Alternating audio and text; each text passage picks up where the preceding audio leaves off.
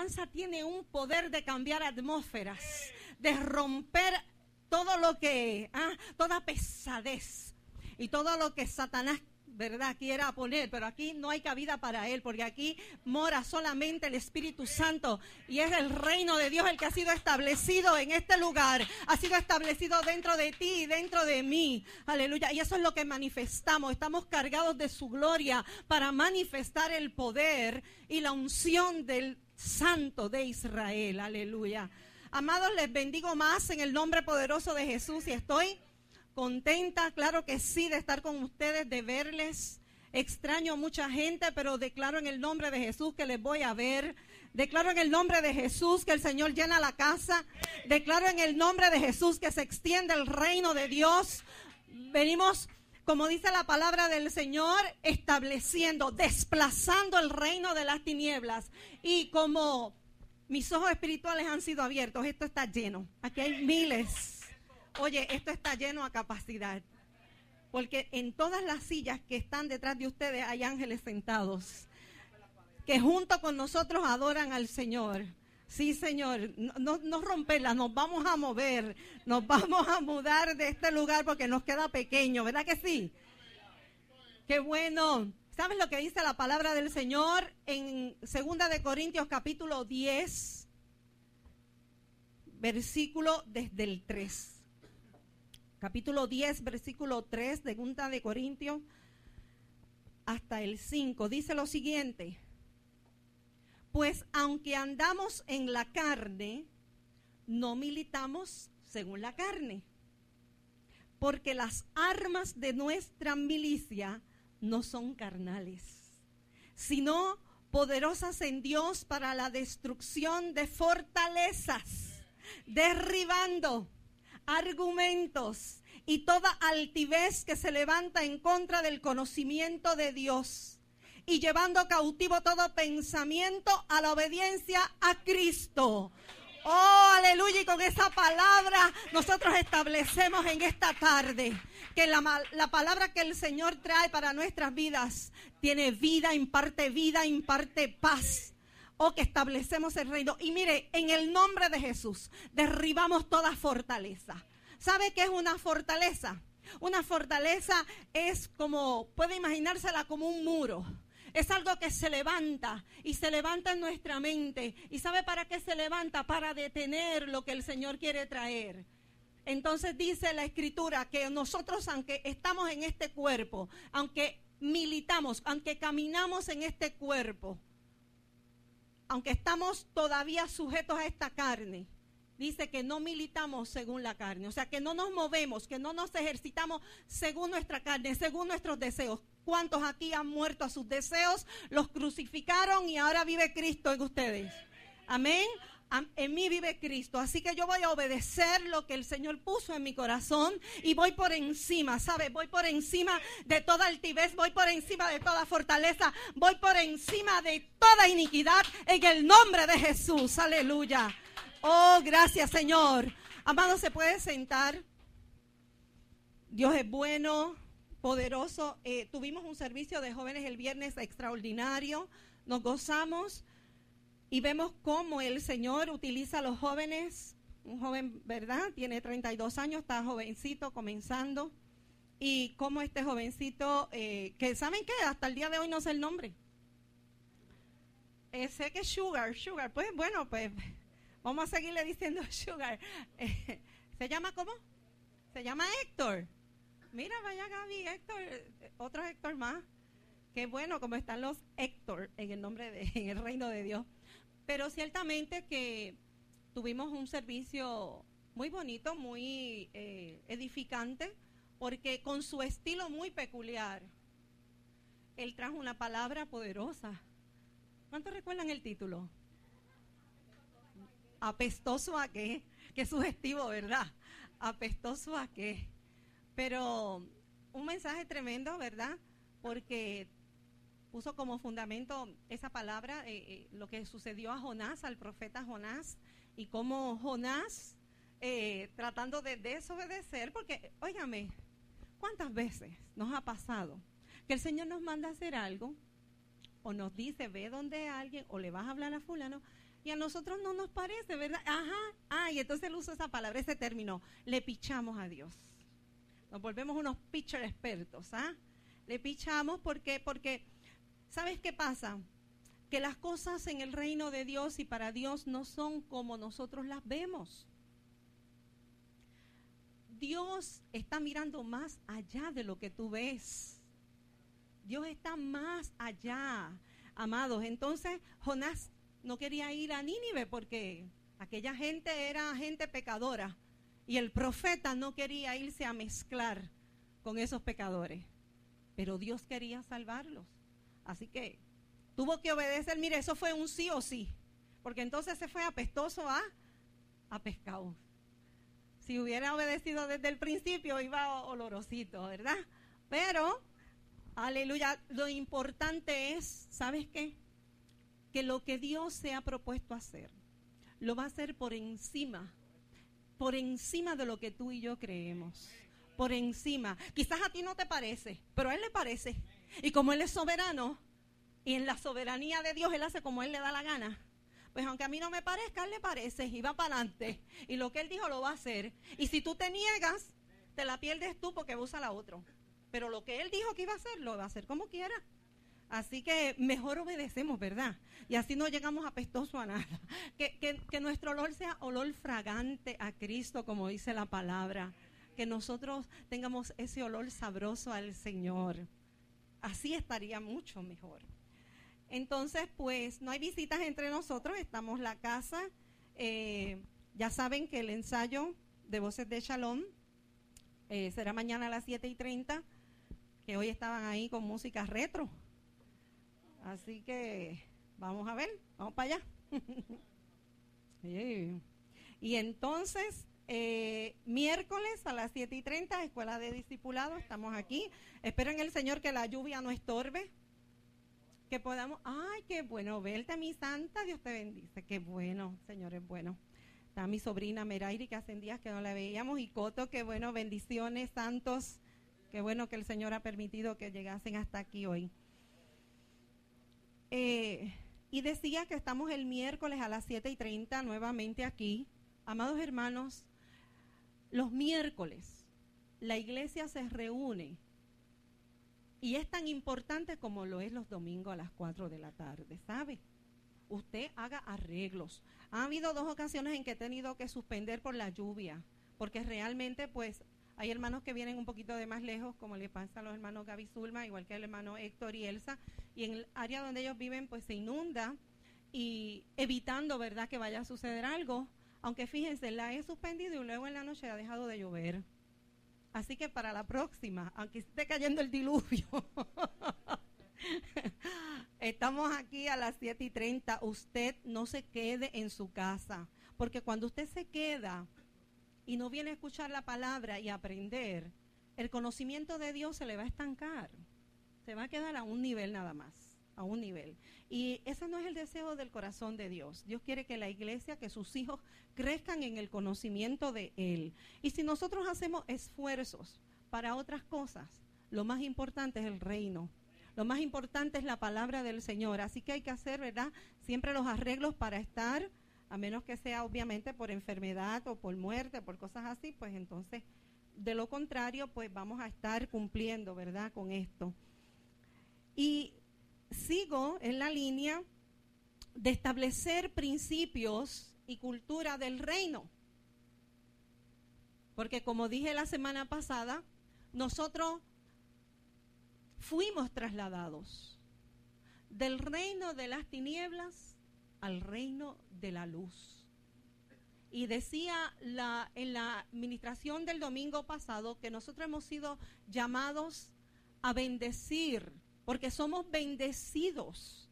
Nosotros el Señor nos ha bendecido. Y saben que hoy encontraba yo en la palabra que cuando Dios creó al hombre y a la mujer, allá en Génesis, encontramos en, en Génesis 1.26, Fíjate que a veces pensamos que solamente fuimos bendecidos desde Abraham para acá, pero mira lo que dice en Génesis, después del 26, dice, Entonces dijo Dios, hagamos al hombre a nuestra imagen conforme a nuestra semejanza.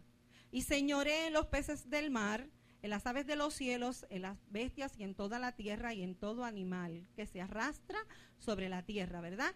Y creó Dios al hombre a su imagen, a imagen de Dios lo creó, varón y hembra los creó. ¿Y qué dice el 28? Y los bendijo Dios los nos bendijo, ¿sabes qué? Desde el principio, desde que nos creó. Y es bien importante cuando nosotros tenemos claro qué es ser bendecido, en qué nos ha bendecido el Señor. Y yo les dije a ustedes que un bendecido es uno que está lleno de beneficios. Y vemos en esa escritura, Génesis 1.28, que dice que los bendijo y después que dice, oye, lo llenó de la capacidad de poderse reproducir. Así que lo llenó de beneficios, de cualidades, de potencial para que ellos se pudieran reproducir, que fueran fructíferos. Así que nosotros somos una fuente de bendición con el propósito de bendecir a otros, ¿ok? Porque no vamos a estar llenos de todas estas cosas buenas solo para quedárnoslas nosotros, sino es para que nosotros las demos, demos por gracia lo que por gracia nosotros recibimos. Y dice que uno que bendice es uno que se convierte en una fuente de mayor bendición. Y la palabra del Señor nos exhorta en el Salmo 103, versículo del 1 al 5, ¿qué es lo que dice? Bendice alma mía Jehová y no olvides, fíjate lo que dice, no olvides ninguno de sus beneficios. ¿Por qué? Porque ¿qué es lo que hace Él con nosotros? Al próximo, al 3. Porque Él es quien perdona todas mis iniquidades. Él es el que sana todas mis dolencias, el que rescata del hoyo mi vida. Él es el que te corona de favores y misericordias. Fíjate que Gaby está trayendo un corto testimonio de lo que le sucedió. Miren, el Señor siempre tiene cuidado de nosotros. Allí estaba él, él se le quedó la cartera, pero ya Dios sabía, ya Dios hizo la provisión. Es que ya Dios ha hecho la provisión que tú y yo necesitamos. Por eso, estableciendo principios y cultura de reino, es importante que nuestra mente, nuestra alma sea transformada. Nuestra alma tiene que ser cambiada, tiene que ser transformada. ¿Por qué? Porque cuando tú y yo vinimos al Señor, hicimos confesión de fe, lo que nació de nuevo fue nuestro espíritu lo que recuperó vida porque estaba muerto fue nuestro espíritu para que entonces el espíritu de Dios viniese a morar a nuestro espíritu. Pero ¿sabes qué? Nuestra alma se quedó igualita. ¿Y qué es el alma? Es el asiento de nuestras emociones, ¿verdad? Es donde está la voluntad. Es en el alma donde se levantan esas fortalezas es en el alma donde se levantan todos los pensamientos y todo lo que nosotros, todos los argumentos que nosotros tenemos que van en contra de la fe, que van en contra del reino de Dios, que van en contra de los principios del reino. Entonces, vamos trabajando día a día con nuestra alma. Por eso la palabra del Señor dice en Romanos 12, capítulo, capítulo 2, transformaos, ¿verdad? Que nos renovemos, que nos transformemos. Mire, amado, el tema de hoy tiene que ver con la fe, pero versus la incredulidad. Y hay un problema con eso, un problema serio que lo vamos a ver cómo cuando en nosotros hay incredulidad, no se puede manifestar el reino de Dios. Cómo la incredulidad es un obstáculo, cómo la incredulidad es una fortaleza que está evitando que tú te muevas conforme a los principios y a la cultura del reino. Yo soy de las que creo que en esta generación el Señor ha venido trayendo una revelación fresca de su propósito.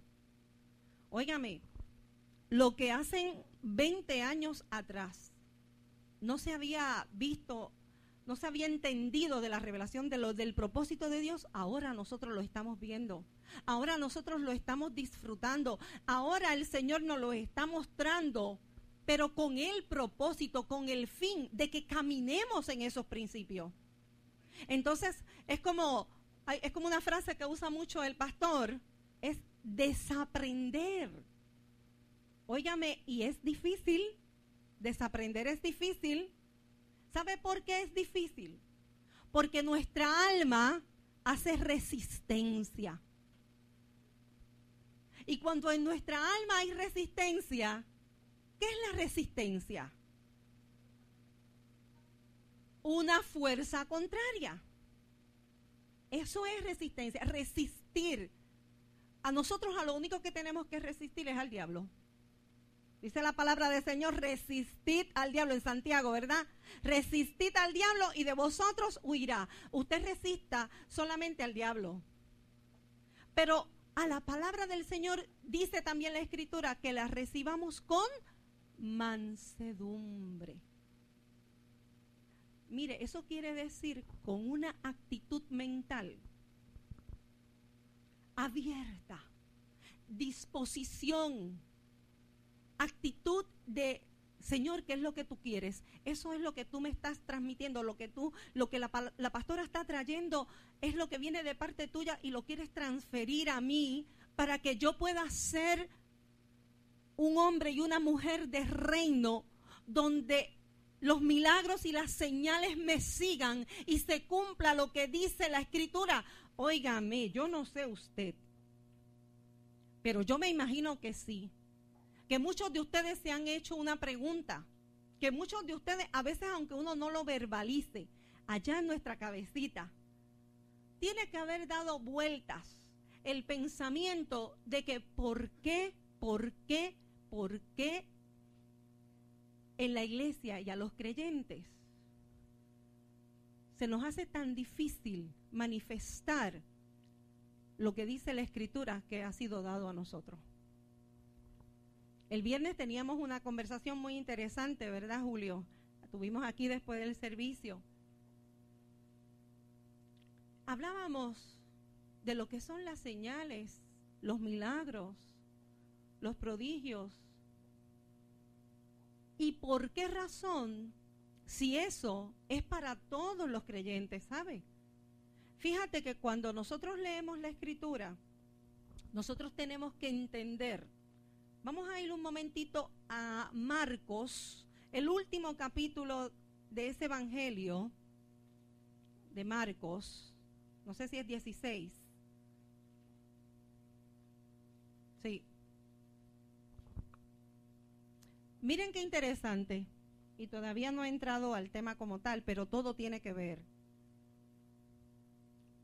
Fíjense que en Marcos capítulo 16 en los últimos versículos, donde eh, desde el 14 está ¿verdad? diciendo que finalmente se apareció a los 11, está hablando de Jesús después que resucitó, y estando ellos sentados a la mesa, les reprochó que, les reprochó su incredulidad,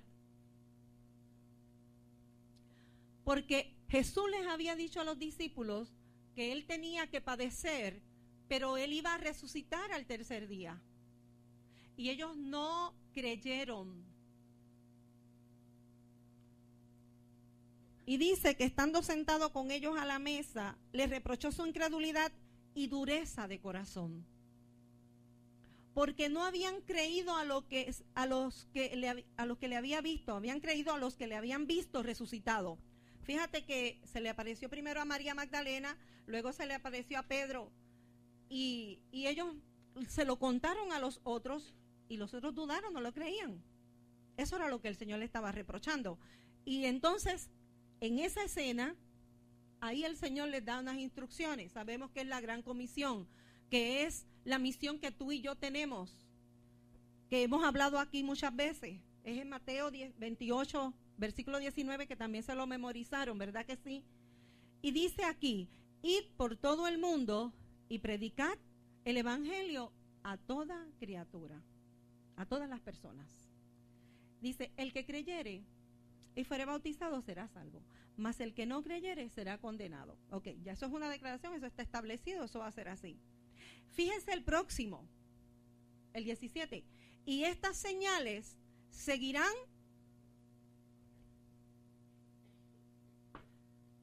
Ahí está el problema, ¿sabes? Ahí es donde está el meollo del asunto, como, como muchos dicen. Ahí es donde está la razón por la cual no se ve manifestada esas señales. ¿Por qué no nos siguen? ¿Por qué algunos sí y a otros no? Porque no creen. Así de fácil, porque no creen. Ahí no dice en ningún lado, en mi Biblia por lo menos no dice, que las señales iban a seguir a los apóstoles, a los pastores, a los maestros. Ahí lo dice. No lo dice, ¿verdad que no? La tuya tampoco. Ahí dice, y estas señales seguirán a los que creen. That's it. ¿Tú crees? ¿Tú crees? ¿Tú crees? Pues se supone que te sigan. En mi nombre echarán fuera demonios. Hablarán nuevas lenguas.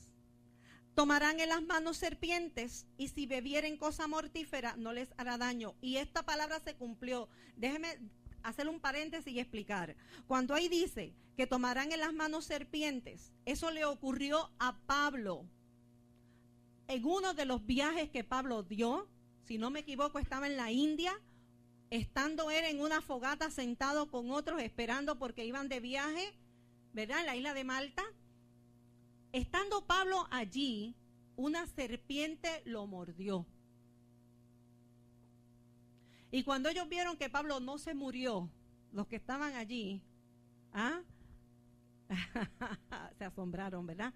Esa palabra yo quiero que tú entiendas porque ahora digo yo como decía Jesús, el que tiene oídos para oír, oiga, y el que tiene ojos para ver, vea. Y estamos hablando de cosas espirituales, o sea, de cosas espirituales y también de cosas proféticas, que Jesús las habló en un momento dado y se cumplieron.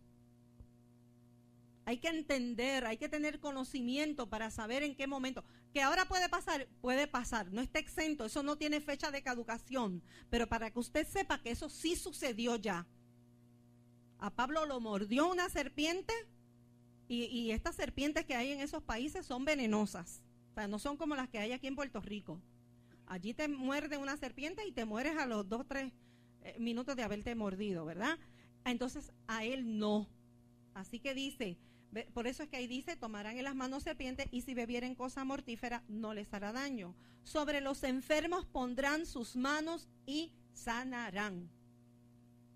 En el reino de Dios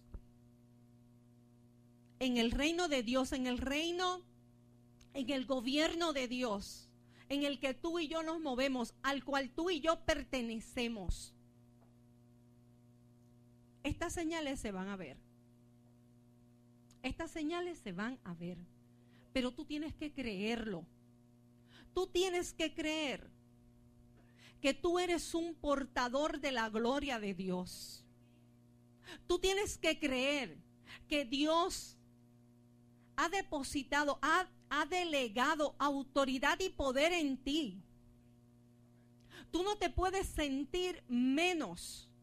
Esa, miren, eso es lo que viene el Señor queriendo enseñarnos, a que transformemos nuestra manera de pensar. Óigame, dice la palabra del Señor, que Él les llama a las cosas que no son como si fueran. Dios te ve a ti y me ve a mí más de lo que tú y yo podemos ver de nosotros mismos. Dios cree más en ti y en tu poder, en tu habilidad, en el don que Él te ha dado. Porque acuérdate que no es con tu fuerza, es que es Él a través de ti. Cuando nosotros podemos transformar nuestro pensamiento, cuando nosotros podamos entender que cuando usted habla la palabra, cuando usted le cree a Dios, es Dios a través de usted. Cuando usted lo crea, entonces donde quiera que tú te pares, donde quiera que tú hables, se va a manifestar la gloria de Dios. La gente va a tener que reconocer que tú tienes algo distinto, que hay en ti un poder que sobrepasa la esfera natural. Pero cuando tú lo crees, ¿sabe? No se va a manifestar hasta que tú no lo creas. Por eso en esta tarde yo vengo contra toda incredulidad. Abre tu mente, pon disposición, quítate. Mira, quítate toda esa todo ese conocimiento que aprendiste desde pequeño. En tu casa te decían, tú no sirves para nada, ¿verdad? Muchos de nosotros fuimos atacados por palabras que denigraron nuestra dignidad. Muchos de nosotros vivimos en hogares donde fuimos maltratados. Muchos de nosotros nos sentimos peor que un gusano. Pero eso fue antes. Eso fue antes. Jesús vino para restablecer su reino y para Él delegar a través de nosotros. Mire, usted es parte del cuerpo de Cristo. Usted es la iglesia del Señor. Usted es un, es como decir, un Cristo pequeño. Usted es un Dios, pero con letra minúscula y se está grabando. Pero es que lo dice la escritura, no es que yo me lo inventé. Es que nosotros fuimos creados a imagen y semejanza de Él. Óigame, ningún animal, ningún animal tiene la posibilidad de crear algo, ¿verdad que no? ¿Usted ha visto algún día un perro creando una licuadora? ¿Verdad que no? Pero sí ha visto un hombre creando un enser eléctrico. Sí ha visto una mujer ¿ah? haciendo cosas poderosas. Sí ha visto todo el que es a imagen de Dios haciendo cosas poderosas. ¿Sabe por qué? Porque en Él hay depósito de Dios. Porque hay cualidades de Dios en el ser humano. Entonces, imagínate, si hay cualidades, si hay potencial, si hay poder de Dios en un ser humano, cuando viene al reino de Dios, lo que nosotros tenemos es dinamita. ¿Se acuerdan, verdad, de dinamita? Mire, el dunamis de Dios. Y viene a mi pensamiento Efesios, capítulo 3, versículo, vamos a ver si es el 16, que dice que aquel que es poderoso, aquel que es poderoso para hacer, dime si es ese el versículo, Efesios capítulo 3, 20, versículo 20. Y aquel que es poderoso para hacer, mire, ¿cuántas cosas? Todas las cosas, mucho más abundantemente de lo que pedimos o entendemos. ¿Vieron? Que Dios se va por encima de los gandules. Que Dios se va por encima de tus limitaciones. Es que Él está por encima. Y dice, aleluya, y dice, más abundantemente de lo que pedimos o entendemos, y hay una coma ahí, y está bien interesante la oración que sigue, según el poder que actúa en nosotros. ¿Sabes qué? Según tú creas. Según tú creas. Según tú creas. ¿Tú quieres que los enfermos se salen con tu sombra, como le pasaba a Pedro? Ah, ah, Julio, ¿verdad que sí? Que tú lo des. Hay que creerlo. Es que hay que creerlo. Y cuando nosotros lo creemos, se manifiesta. Yo, ahí. ¿cuánto tiempo ha pasado nosotros impartiéndote una palabra, diciéndote todo lo que Dios tiene para ti? Yo puedo ver, porque Dios me lo ha permitido, ver el potencial y todo lo que Él ha depositado ahí para su gloria. Es mucho más allá de lo que tú ves. Es mucho más allá de lo que tú entiendes. ¿Qué pasó cuando te paraste?